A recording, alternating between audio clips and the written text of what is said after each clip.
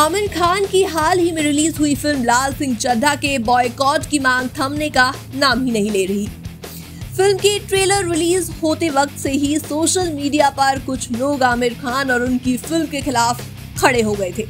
और इस बॉयकॉट की मांग का असर लाल सिंह चड्ढा के बिज़नेस पर भी साफ़ साफ़ देखने को मिला। आमिर खान और करीना कपूर खान तक लोगों से रिक्वेस्ट कर चुके हैं कि उनकी फ़िल्म को बॉयकॉट ना किया जाए।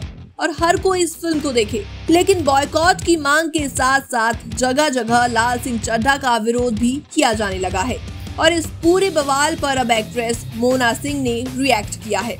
लाल सिंह चड्ढा में आमिर खान की माँ का रोल निभाने वाली मोना सिंह ने उन लोगों की मंशा पर सवाल उठाए हैं, जो फ़िल्म को बॉयकॉट करने पर तुले हुए हैं।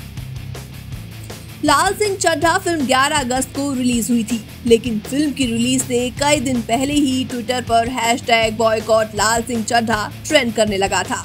लोग आमिर खान के पुराने विवादों को उठाने लगे और इसी वजह से वो फ़िल्म का बहिष्कार करने की मांग कर रहे थे। लेकिन मोना सिंह इससे बेहद खफा है और उन्हें समझ ही नहीं आ रहा आखिर ये बॉयकॉट ट्रेंड इस तरह कैसे ज़ोर पकड़ रहा है।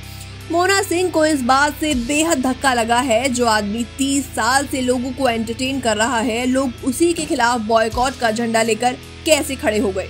एक मीडिया हाउस से बातचीत में मोना सिंह ने कहा, मैं बेहद दुखी थी। मतलब आमिर खान ने ऐसा क्या किया है जो वो ये सब डिजर्व करते हैं? पिछले तीस सालों से हमें एंटरटेन कर रहे हैं।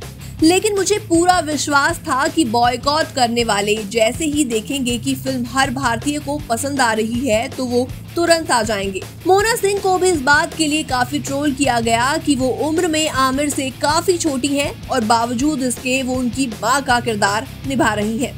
इस पर मोना ने पलटवार करते हुए जवाब दिया। वो फ़िल्म में आमिर नहीं, बल्कि लाल की माँ के रोल में है। आमिर ने मोना सिंह का बचाव किया था।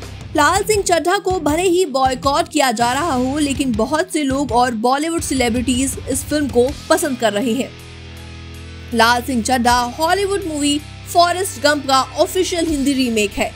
लाल सिंह चड्ढा के पहले तीन दिनों की कलेक्शन की बात करें तो इसने शनिवार यानी कि 13 अगस्त तक 27.50 करोड़ की कमाई की। वहीं वर्ल्ड वाइड इसने 50 करोड़ रुपए का आंकड़ा पार कर लिया।